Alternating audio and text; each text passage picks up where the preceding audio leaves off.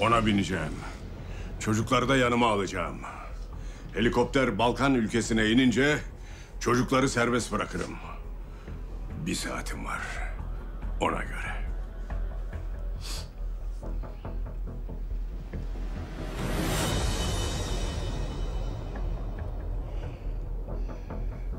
Hemen harekete geçmeyin. Beklemede kalın. Evet müdürüm, beklemedeyiz.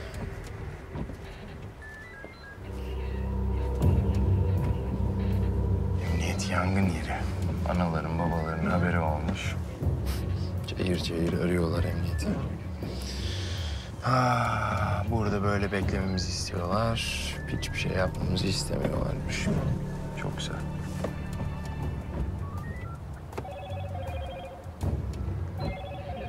Yağmur, haber var mı? Çıktı şimdi ameliyattan.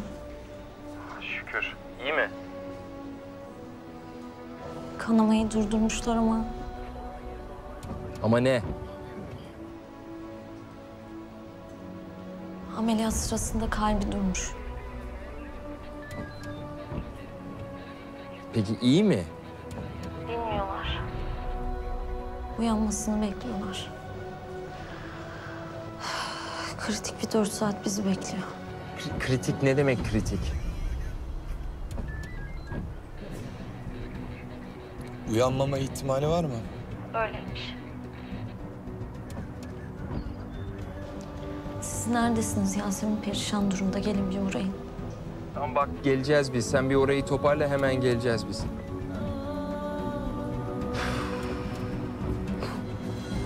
Adam ölüm kalım mücadelesi veriyor. Biz burada başka bir delilikle uğraşıyoruz.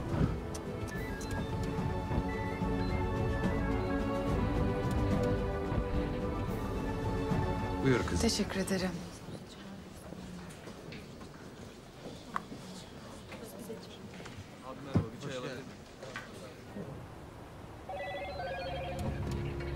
Ne oldu başka bir haber mi var? Doktoruyla konuştuk şimdi. Kalbi durduğunda diğer organlar zarar görmüş olabilir diyor. Tekrar bakacaklar. Bir son dakika haberiyle devam ediyoruz.